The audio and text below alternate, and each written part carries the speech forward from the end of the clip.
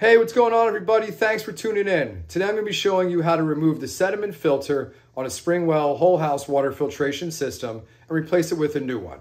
It's a pretty simple task if you have the right tools, which all of us should, and if you follow these simple steps. So instead of talking anymore, let's get started. All right, so here and there are really the only tools you're gonna need, items you're gonna need.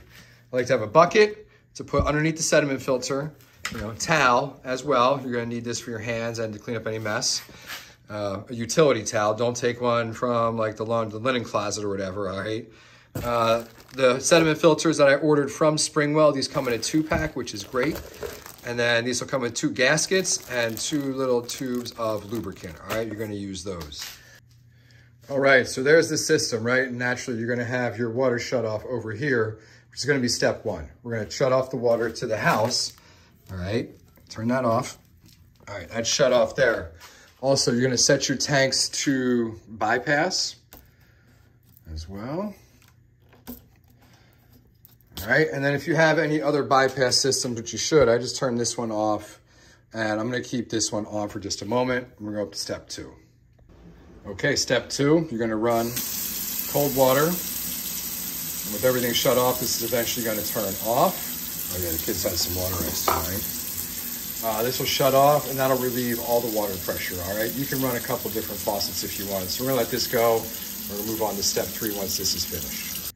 Okay, for step three, we're gonna be removing the sediment filter. So you wanna take your bucket, obviously, and place it somewhere below here so it will catch all the water that's gonna come out of here. Because there is water even though you shut everything off in the house, all right? Okay, now, if you relieved all the pressure in the house, you'll be able to get this sediment filter off like this with just a little bit of muscle. If you did not remove all the pressure in the house, for some reason if you forgot to do that, there's this vent here. You can turn this on, all right? Open it up, and it'll relieve any pressure. Right now, nothing's coming out because all the pressure is being released. Uh, if there was back pressure in here, pressure built up, it would vent out through this, all right? So now, we can take this and take it off.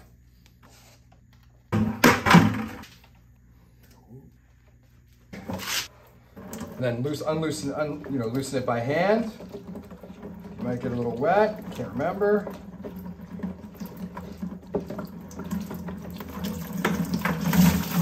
All right, and that's that. Okay, so now you've got your old gasket here and you have your sediment filter right here. All right, as you can see, it's been set catching some sediment. So I'm just gonna drop this in here. All right, dump that out. I give this a wipe out with the towel. And then you're gonna pop the sediment filter off with whatever you have. Just, you know, get an edge under there. Take off the old sediment filter. All right, so I cleaned that out on the inside. Next, we're gonna take a filter. we're gonna insert that in there. And you just drop it in. Just set it right there. There's a, there's a hole that this will fit on. You put it there.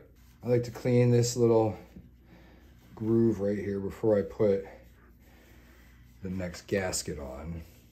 Then I take the lubrication you get, tube, the tube of lube, and then what I'll do is I'll just put a little bead of it around here, all right, of lubrication on the gasket, and then we'll put it in here.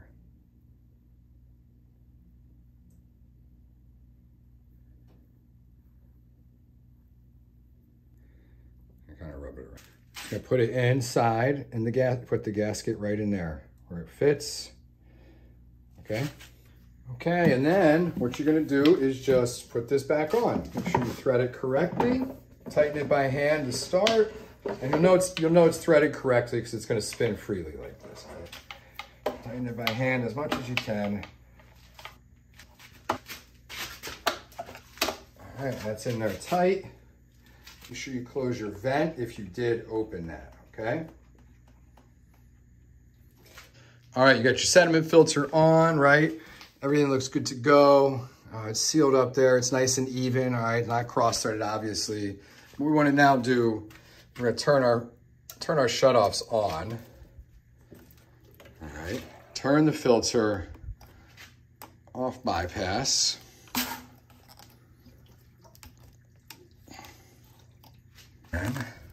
Turn the water back on to the house.